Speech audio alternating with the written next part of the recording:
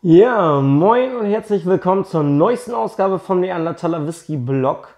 Und wie ihr sehen könnt, ich habe mal wieder das Intro, was ich zwischendurch mal gemacht hatte und für die Videos genutzt hatte, wieder äh, reaktiviert. Hat einfach den Grund, heute ist eine besondere Folge.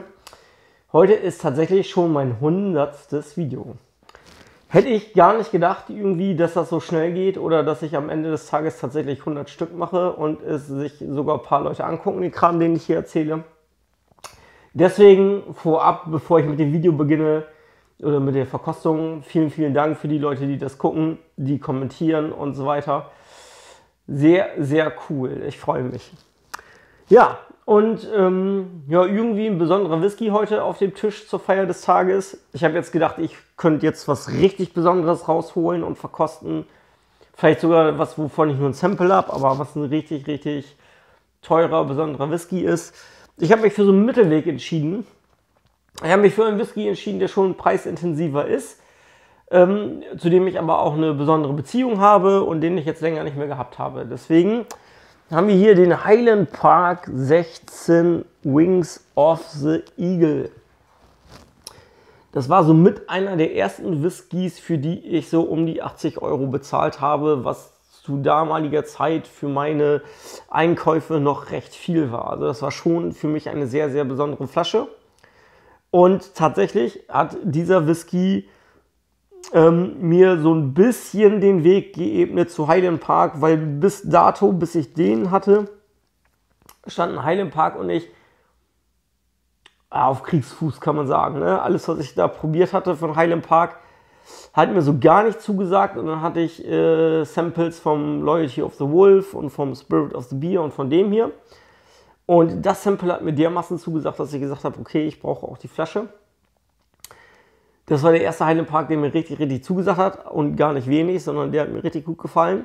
Ich bin mal gespannt, wie das ist. Ich äh, die Flasche schon seit langem auf und diese Nachfolgeflasche habe ich jetzt gar nicht äh, vor so langer Zeit gekauft. Also zwischen der letzten und dieser Flasche ist schon ein bisschen Zeit vergangen. Und ja,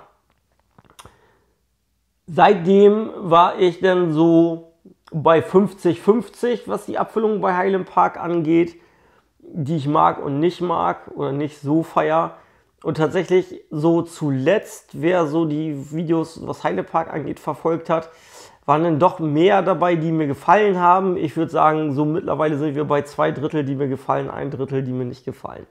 Naja, aber auf jeden Fall hat der Kollege äh, dem Ganzen den Weg geebnet. Ja, wie der Name schon sagt, 16 Jahre alt, 44,5 Prozent hat der Kollege. Und ja, wollen wir dann mal öffnen. Ja, natürlich äh, hätte ich jetzt auch vorab die schon öffnen können, aber dann hätte ich die ja nicht mit euch so toll verkosten können. Ne? Deswegen mache ich den jetzt auf und ich stehe auf dem Plop. Ich hoffe, man hört ihn gleich. Jo. Und das Gluckern beim Einschenken. Zweitbestes Geräusch.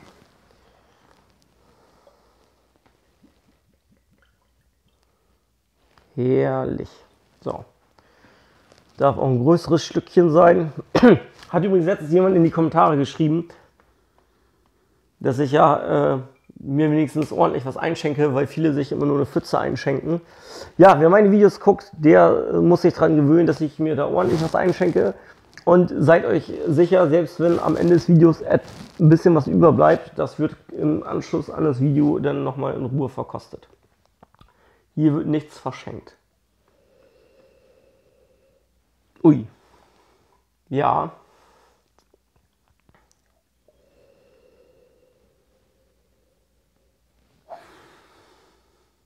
Feine Nase schon. Erinnert mich oder bringt mich jetzt wieder zurück an diesen Moment, wo ich ihn das erste Mal probiert habe. Jetzt weiß ich auch wieder, warum ich den mochte.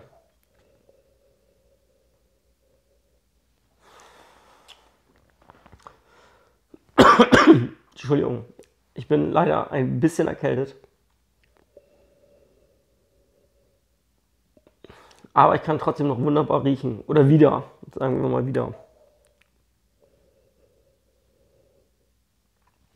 Ja, also leichter Rauch, viel Süße, eine gute Portion Sherry-Aromen, Dunkelfrucht,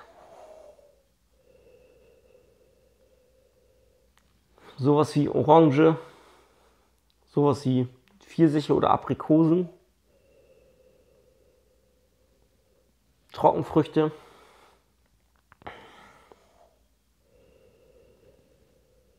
Ja, vielleicht sowas wie Datteln auch, ne?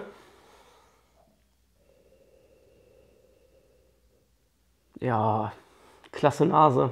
Ganz tolle Nase. Ich weiß gar nicht, habe ich was zu dem Preis gesagt? Ja, hatte ich gesagt, ne, so um die 80 Euro kriegt man den. Also meist, also 80, wenn er im Angebot ist, wenn man den irgendwie günstig irgendwo kriegt.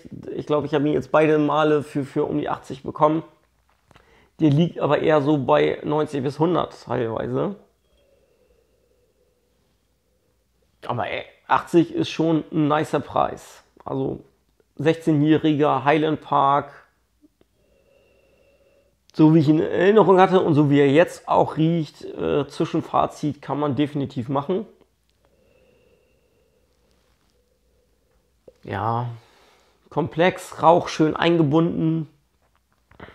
Schon ein sehr, sehr mildes, angenehmes Teil, ne? Also versteht mich nicht falsch, ich stehe auch auf hartrauchige Whiskys und auch nicht zu knapp, aber zwischendurch darf es auch mal ein bisschen milder und vielleicht dann auch so ein bisschen ja, vielschichtiger noch sein in den Aromen, weil starker Rauch überdeckt halt oft auch viel, ne? Ja, und hier kannst du viel entdecken, mild, total ange... Also machst ein bisschen den Mund wässrig, ne? Ach so, die Fässer sollten, habe ich glaube ich vergessen zu erwähnen, die Fässer sollten äh, eine Mischung aus Ex-Bourbon und Sherry-Fässern sein.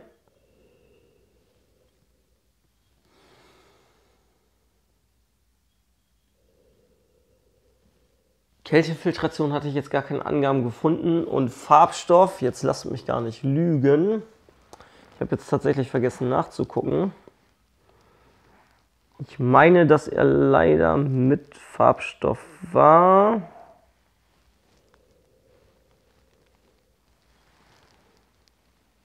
Wobei es jetzt nicht draufsteht, ne? Also, wobei ich glaube, auch da hat sich die Gesetzeslage ein bisschen geändert, ne?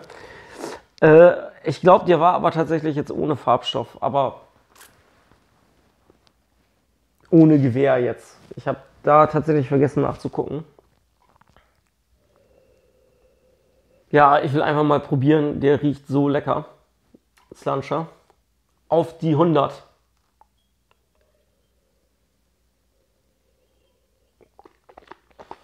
Mmh.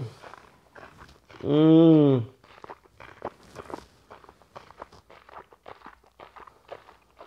Mmh.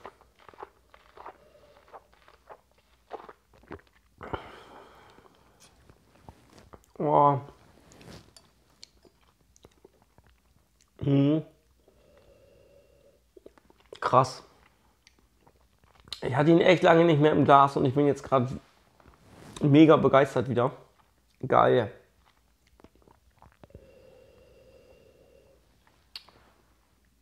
Auch im Mund sehr vielschichtig. Erster Eindruck, auch da der leichte Rauch, aber auch gut eingebunden. Sehr süß teilweise zwischendurch. Aber was eigentlich am meisten raussticht, sind die Sherry-Noten. Und man hat Dunkelfrucht auf der Zunge, aber vorwiegend tatsächlich dann auch sowas wie, ähm, ich würde auch Pfirsich oder Aprikose sagen, irgendwas in der Richtung. Herrlich. Sehr intensiver, kräftiger Geschmack. Ne? Also die 44,5 Prozent. Zwar mild, aber bringen schon aromentechnisch viel auf die Zunge. Also man spürt richtig viel. Geiles Teil. Muss ich echt sagen. Und ähm, ja, wenn ich es jetzt mal aus dem Kopf raus, ich werde die 1 Gram ist doch über vom 18er, vom aktuellen. Ich werde die nochmal gegeneinander vergleichen. an einem gemütlichen Abend. Aber aus dem Kopf raus an, in, an die Erinnerung vom 18-Jährigen. Und ich hatte den, glaube ich, vor ein paar Tagen aufgrund, weil ich wusste, dass ich dieses Video drehen will, hatte ich, glaube ich, mir mal den 18-Jährigen nochmal eingeschenkt. Und seit die Flasche ein bisschen länger offen ist, fand ich, wurde er auch ein bisschen, muss man fairerweise dazu sagen, hat, hat, hat der für mich ein bisschen abgenommen. Der 18er. Aber selbst am Anfang, als ich ihn noch intensiver wahrgenommen habe, finde ich ihn weniger intensiv als den hier. Also im Vergleich, weil er jetzt auch noch weniger kostet, würde ich den hier tatsächlich vorziehen. Also wie gesagt, ich muss fairerweise die mal direkt gegeneinander vergleichen und äh, der 18er hat auch mit, mit ein bisschen Sauerstoff in der Flasche leider verloren, obwohl viele Whiskys besser werden dadurch, aber halt auch nicht alle und ich habe das Gefühl, der 18er hat ein bisschen nachgelassen. Gerade als es gegen Ende ging.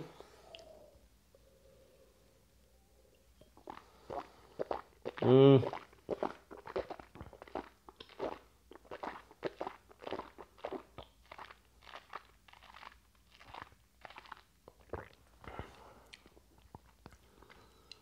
Ah. Orange, Dunkelfrucht, Pfirsich tatsächlich, Süße und diese Rauchnote. Diese Rauchnote, die schwebt da so drüber. Das ist schwer zu beschreiben, aber Leute, die äh, mildrauchige Whiskys trinken, wo der Rauch wirklich gut eingebunden ist. Ne? Und das kann Highland Park bei den Abfüllungen, die mir gefallen, sehr, sehr gut. Und wer das noch sehr gut kann, ist zum Beispiel, finde ich, Ben Rommach. Da ist diese Note eine von vielen. Und dieser leichte Rauch schwingt bei allem, was man schmeckt, so ein bisschen mit, ohne die anderen Sachen zu überdecken. Also bei starkrauchigen Whiskys zum Beispiel habe ich oft, es kommt erst der Rauch, wenn der nachlässt, öffnen sich die anderen Aromen. Und hier ist das wirklich, man spürt so zwei, drei Frucht- und süße Aromen parallel und gleichzeitig einfach und mit darüber ist diese Rauchnote. Ne? Man spürt diesen Rauch zeitgleich mit diesen anderen Noten. Und das können auch gefühlt nicht immer so viele Whiskys, dass die parallel so viele Geschmäcker gleichzeitig fahren. Da wechseln die sich gerne mal ab im Mund. Und hier habe ich das Gefühl wirklich, dass man parallel gleichzeitig mehrere Sachen im Mund spürt. Geil. Ähm, Abgang habe ich jetzt ein bisschen vernachlässigt. Ist auch nochmal ganz bisschen geht die Süße mit. Vorwiegend Rauch, ein bisschen Eiche, aber vor. Und auch da ist der Rauch halt nicht toll. Ne? Also das ist wirklich ein leichter Rauch, aber er ist da.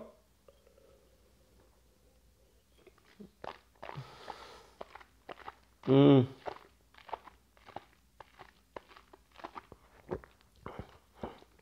Jetzt beim dritten Schluck war die Süße gerade ein bisschen präsenter am Anfang. Und dann setzte dieser leichte Rauch und die Frucht ein. Toller Whisky. Wirklich toller Whisky. Wer auf leicht rauchige, milde Whisky steht, holt euch das Ding. Geil. Komplex, lecker, tolle Nase, toller Geschmack. Wenn man ihn für 80 Euro kriegt wie ich, auf jeden Fall das Geld wert. Ich würde sagen auch vielleicht die 100, weil der 18er kostet auch 100 oder mittlerweile ja auch schon wieder mehr. Den habe ich, glaube ich, damals, als ich die Flasche gekauft habe, auch für um die 80, 85 bekommen. Der Preis ist völlig okay. Die, die, also wenn man es jetzt vergleicht, die, die 100, würde ich noch eher 100 für den bezahlen als für den 18er. Ja, doch. Also muss ich sagen, äh, geiles Teil und äh, das war ja eine äh, Travel Retail Abfüllung, aber mittlerweile sind diese Travel Retail Abfüllungen ja auch, dann sind die anfangs, wenn sie überhaupt anfangs nur für äh, den Reisebedarf sind in den Duty Free Shops. Äh, manchmal habe ich das Gefühl, die kommen auch parallel schon in, in die Online-Shops und wenn dann mit einer kleinen Verspätung.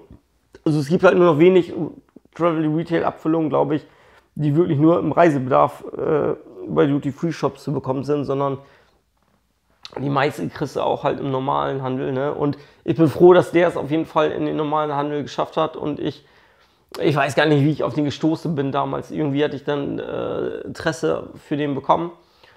und habe mir dann, äh, ja, ich glaube, diese Geschichte dahinter, ne, mit den Bären, die, die, der Adler und so, habe ich gedacht, probierst du mal, weil, weil es halt viel Marketing und so. Und deswegen erstmal nur Samples, weil, weil ich ja so ein bisschen, äh, wie gesagt, Highland Park so zu dem Zeitpunkt sowieso äh, Abstand hatte.